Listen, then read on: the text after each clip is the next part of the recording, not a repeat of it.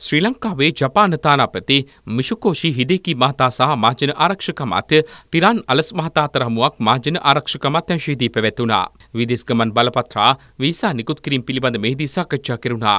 ජාතික ප්‍රතිසන්ධාන වැඩිපිළිවෙල සම්බන්ධයෙන්ද අදහස් සුමාරු කරගෙනුණා. ප්‍රජා පොලිස් කමිටු වැඩසටහනේ සාර්ථකත්වය හා එහි වැදගත්කම් පිළිබඳව අමාත්‍යවරයා හිදිකි මහතා දැනුවත් කළා.